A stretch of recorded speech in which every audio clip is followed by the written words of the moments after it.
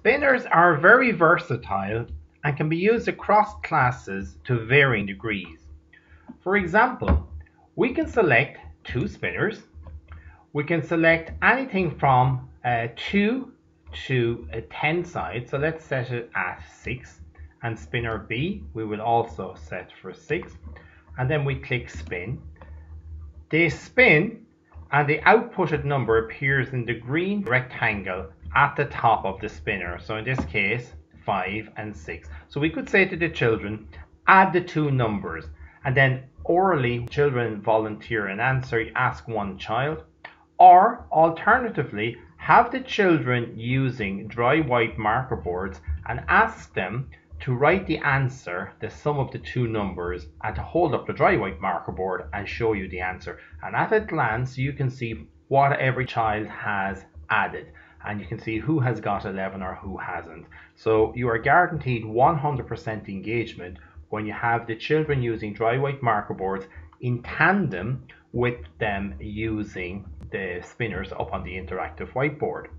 Alternatively, we can set it for three spinners and we click spin and we ask the children uh, what's the total of the three numbers and again they write it on their dry white marker boards.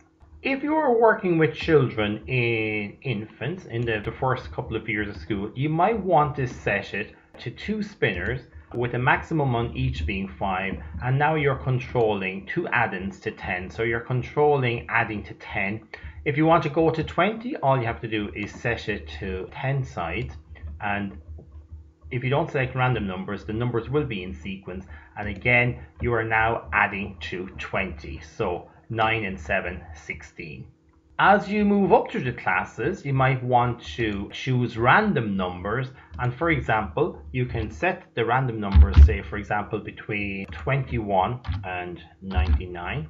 Now in this case, you spin the spinners again and then you ask the children to add both numbers 67 and 32 you might want to ask what's the difference between the two numbers you might ask them to round each number to the nearest 10 or perhaps to double each number and again write the answers on the dry white marker boards and to show you or you might say to children what is needed to add to both numbers to make 100. So what do you need to add to 67 to bring it up to 100? What do you need to add to 32 to bring it up to 100? Alternatively, you might say, what do you need to subtract from 67 to bring it to 50? What do you need to subtract from B to bring it to 50? The spinners present a huge number of opportunities for a teacher to engage in a dialogue of number and mathematics and calculating and problem solving with their children by using this tool up on their interactive dry white marker boards. Again, for more information on how to use the tool, just go to the info button and that outlines how you use the functions of the spinner tools and also application ideas to get you started on how you might begin to use the spinners in your classes within the school from the juniors all the way up to the seniors.